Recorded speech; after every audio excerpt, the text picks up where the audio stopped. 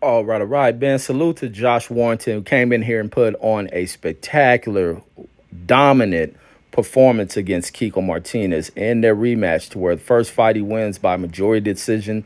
This one he comes in and stop Kiko in the seventh round. I mean, he just came out the gate blazing in this fucking fight. First round, dominant. Came out here aggressive, pressure style fighting, and Martinez just seemed to never be able to get into that gear to be able to, you know, shift along with him in this fight. And it was like he was stuck in first. Kiko was already in sixth gear. I mean, not Kiko, sorry about that. Kiko was stuck in first. Warrington was shifted already in sixth gear, unloading on him, dropping him in that first round, opened up multiple cuts, came on that second round. Same thing you see in the first round. Pressure, pressure, pressure working him. Third, fourth round, think he changed it up a little bit. Third round is where I gave Martinez the round just because Warrington began to kind of like step up on the back foot, more backing up in this in the third round and and also in the fourth and fifth round, but he was working accurately. He was able to avoid shots from Martinez. Martinez was very ineffective. He didn't really land too much of anything, couldn't get connected with anything, but he did start moving forward as Warrington started to allow him to come forward as he walked back.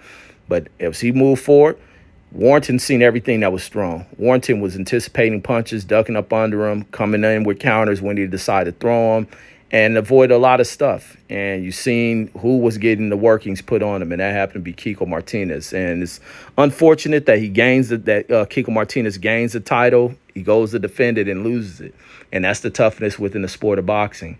But we'll see where Josh Warrington goes for. Does he avenge his loss to uh, Mauricio Lara? Uh, does he fight Navarrete? I heard the name of Navarrete opened up in this uh, post fight and we'll see what we get. But all in all, man, salute to Josh Warrington coming out there in a spectacular performance. And I want to hear what Kiko Martinez says for this camp. To me, it looks like he bulked up. And looking at him inside the fight, or did he rehydrate a little bit too much? He looked kind of, you know, he looked very, very uh, uh, puffed up as if he, I don't know if he was doing a lot of weight training on this fight, but he looked a little bit too over compacted muscularly and it just seemed that he couldn't move, or could age have been a factor, or could it just be Josh Warrington was that well conditioned and ready for this fucking fight? And I think it's the latter. But that's all I got. Peace.